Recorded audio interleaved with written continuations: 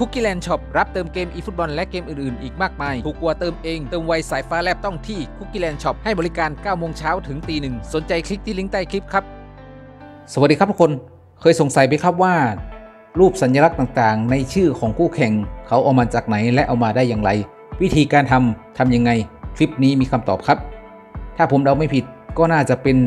ภาษาญี่ปุ่นที่เขาป้อนเข้าไปในคอมพิวเตอร์ เป็นโปรแกรมของเกมอีฟุตบอลของเรานี่เองครับ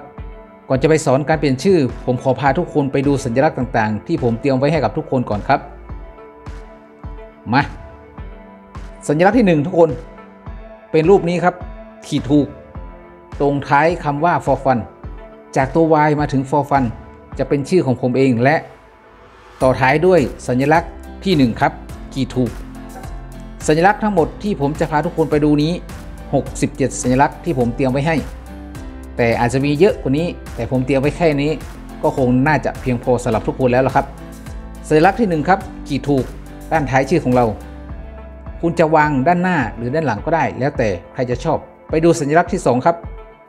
สัญลักษณ์ที่ 2 เป็นตัว X อยู่ในวงกลม พื้นหลังสีดำครับ สัญลักษณ์ที่ 3 ครับ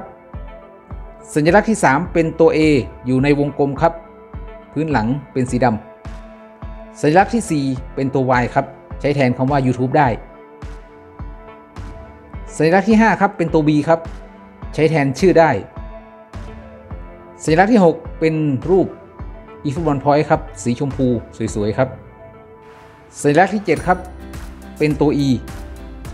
เป็น eFootball สีฟ้าพื้นหลังสีฟ้าครับ สัญลักษณ์ที่ 8 เป็นรูปตัว E เหมือนกันอยู่ในวงกลมพื้นหลังสีดำสีเทาๆครับ สัญลักษณ์ที่ 9 ครับ เป็นตัว e ฟุตบอลคอยครับสีทอง สัญลักษณ์ที่ 10 ครับ เงิน GP ก็คือตัว G ครับ พื้นหลังสีน้ำเงิน สัญลักษณ์ที่ 11 ครับ เป็นรูปดาวดาวกอนบอลครับ สัญลักษณ์ที่ 12 ครับ รูปดาวและมีเลข 2 ก็คือ 2 ดาวนั่นเองครับ สัญลักษณ์ที่ 13 ก็ 3 ดาวครับดาวกอนบอล สัญลักษณ์ที่ 4 ก็ 4 ดาวครับ สัญลักษณ์ที่ 5 ก็เป็นรูป เลข 5 แล้วก็รูปดาวครับ ก็จะเป็น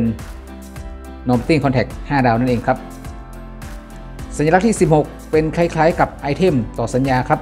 การต่อสัญญานักเตะครับ สัญลักษณ์ที่ 17 เป็นตัวรูปรองเท้าครับ สัญลักษณ์ที่ 18 LB ครับ แล้วมีพื้นหลังสีด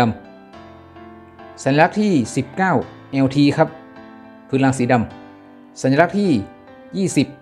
RB ครับพื้นหลังสีดำสัญลักษณ์ที่ 21 RT พื้นหลังสีดำครับ สัญลักษณ์ที่ 22 เป็นรูปสี่เหลี่ยมทาบกันอยู่ แล้วเป็น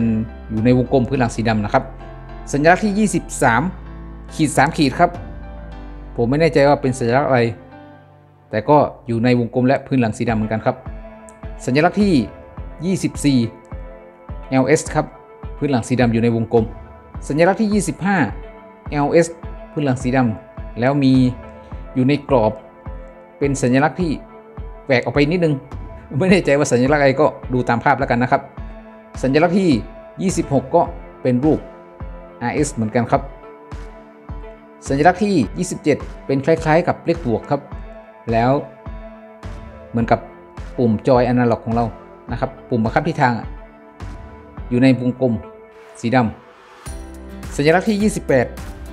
ก็เป็นเลขบวกเหมือนกัน ก็เป็นสัญลักษณ์ของปุ่มบังคับทิศทางในจอยของเราเองครับ แต่เป็นปุ่มสีขาวอยู่ด้านบน สัญลักษณ์ที่ 29 ก็เป็นปุ่มกดทิศทางเหมือนกันครับ แต่กดไปทางขวานะ สัญลักษณ์ที่ 30 เป็นปุ่มกดทิศทางเหมือนกันครับ แต่กดลงด้านล่าง สัญลักษณ์ที่ 31 เป็นปุ่มกดทิศทางครับ แต่กดไปด้านซ้าย สัญลักษณ์ที่ 32 ครับ คล้ายๆ กับกด 2 ปุ่มให้เป็นนักเตะวิ่งเฉียงอะเฉียงขวาบนนะครับ สัญลักษณ์ที่ 33 ก็เฉียงขวาล่าง กด 2 ปุ่ม สัญลักษณ์ที่ 34 ก็กด 2 ปุ่ม ฝั่งซ้ายล่าง สัญลักษณ์ที่ 35 เฉียงซ้ายบน สัญลักษณ์ที่ 36 เป็น LS แล้วมีลูกสามเหลี่ยมชี้ขึ้น สัญลักษณ์ที่ 37 LS สามเหลี่ยมชี้ด้านขวาบน สัญลักษณ์ที่ 38 ls สามเหลี่ยมชี้ด้านขวา สัญลักษณ์ที่ 39 ls สามเหลี่ยมชี้ด้านขวาล่าง สัญลักษณ์ที่ 40 ls และสามเหลี่ยมชี้ด้านล่างซ้าย สัญลักษณ์ที่ 41 ls และสามเหลี่ยมชี้ด้านซ้าย สัญลักษณ์ที่ 42 ls สามเหลี่ยมชี้ด้านซ้ายบน เป็นสัญลักษณ์ของอนาล็อกนั่นแหละ แต่เราโยกไปทางซ้ายขวาบนล่างเท่านั้นเองครับ สัญลักษณ์ที่ 43 ชี้ไปด้านบน RS สัญลักษณ์ที่ 44 ชี้ไปด้านขวาบน สัญลักษณ์ที่ 45 RS ชี้ไปด้านขวา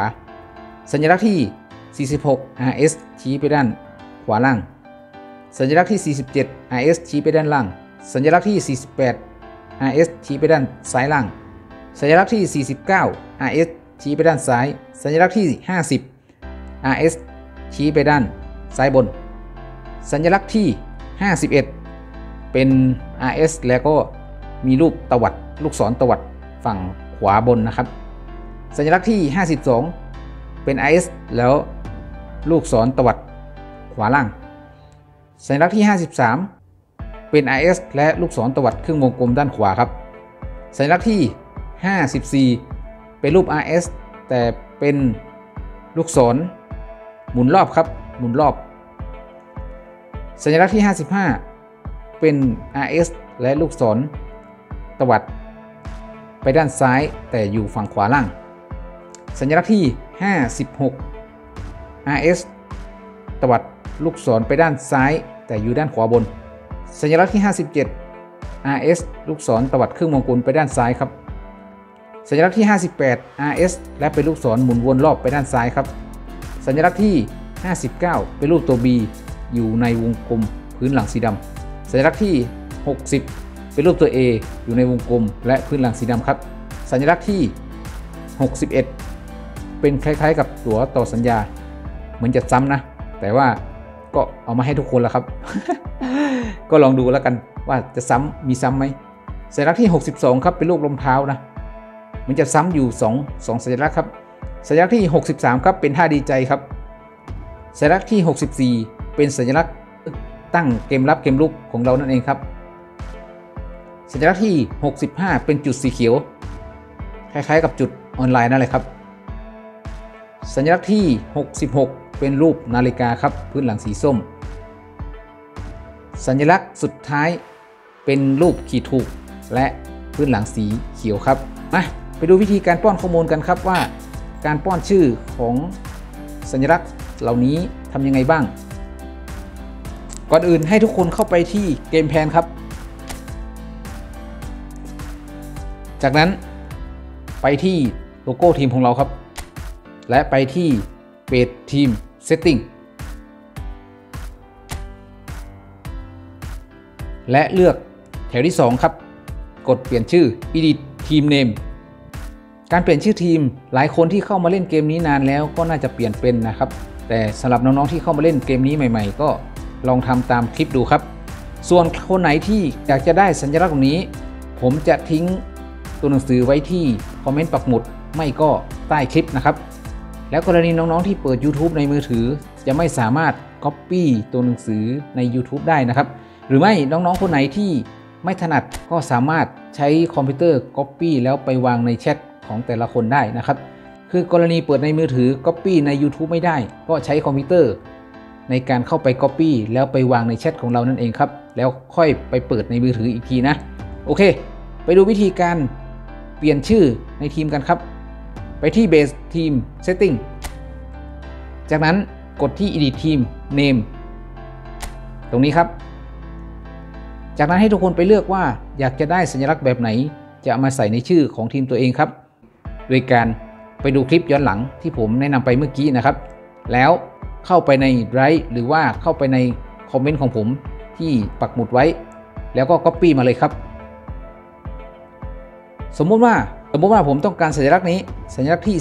16 ที่เป็นไอเทมต่อสัญญา ผมก็เข้าไปที่ตัวหนังสือ แล้ว Copy ข้อที่ 16 มาครับ มาวางไว้ อะ Copy ข้อที่ 16 นะ เอาเฉพาะตัวหนังสือครับ ไม่ต้องเอาหัวข้อไปนะ แบบนี้ครับ แล้วเสร็จแล้วก็ Copy ปุ๊บ จากนั้นไปหน้าทีมของเราครับ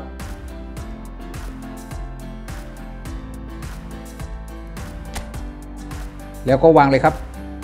วางปุ๊บกดที่เรียบร้อย แบบนี้ครับ จากนั้นก็ได้สัญลักษณ์แบบนี้มาอยู่ในชื่อทีมของเราแล้วนะครับ โอเค ขอให้ทุกคนสนุกกับ eFootball นะครับ เจอกันใหม่คลิปหน้าครับ For Fun Channel ผมทำได้ คุณก็ทำได้ มีคำถามเม้นอยู่ใต้คลิปได้ แล้วผมจะเข้าไปตอบครับ ไปก่อนแล้วครับ สวัสดีครับบาย